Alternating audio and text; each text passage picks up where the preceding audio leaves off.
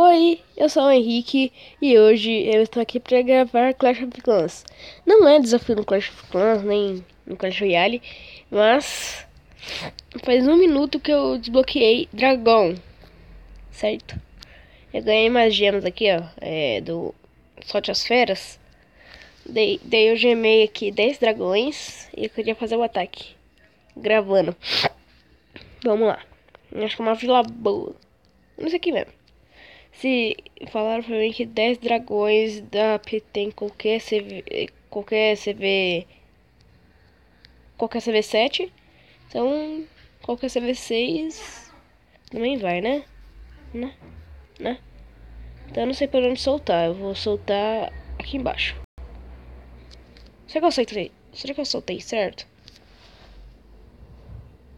Eu não sei, eu nunca taquei de dragão. Acho que eu taquei tudo errado. Vai ter um monte de gente me xingando. Tô até prevendo isso. Hum. Hum. Sei nem se eu devia estar gravando vídeo. Agora. Mas vamos lá. Os dragões destruindo tudo. Ó, destruição. Esses dragões são muito fortes. Eu achava que dragão era tipo vermelho, mas é verde. Eu achei que verde fosse o nível máximo dele e vermelhão fosse tipo um nível 1. Porque o, o dragão, ele tá aqui como, como um, uma tropa tipo, vermelha.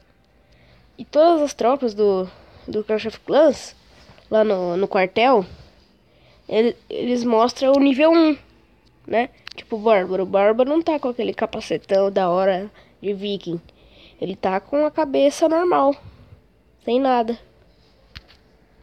Acho que eu deveria falar pra mim pra me atacar quando eu conseguir dragão, pra me atacar na guerra de dragão. Mas não, eu tenho uma estratégia melhor. Mas eu vou testar taca de dragão. Acho que é bom, né? Mano, olha a destruição desses dragãozinhos. Toma, toma, toma. Na cabeça. Yeah. Toma, Rebar também. Toma, toma, toma, toma. Você não ajudou em nada, Rebar. Você só toma dano. Toma, toma, toma, toma. Uh! Pelo menos dei 100%, né? Dei 100% em um CV6. Tem gente que eu, falando que eu sou noob, que eu tô atacando CV6. Mas sou mesmo. Eu acabei de desbloquear o dragão, tô muito feliz. Olha a minha cara de feliz. Eu sei, não dá pra ver, não tô, não tô com webcam. Por que você não tá com webcam? Você podia gravar sua reação. Ah, eu tava fazendo feitiço de fúria. Agora não adianta mais. Deixa eu tirar. Salve.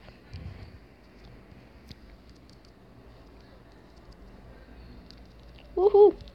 Fala pra mim de, de atacar de dragão com feitiço de cura ou feitiço de, de fúria. Não atacar com raio, porque raio não vai servir pra nada.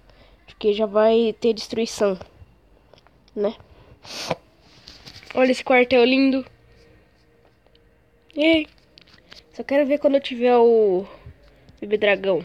Cadê? Favoritos? Não. É, é nos troféus. Melhores cães. Melhores jogadores. Aqui, ó. Esse cara, esses caras de amador.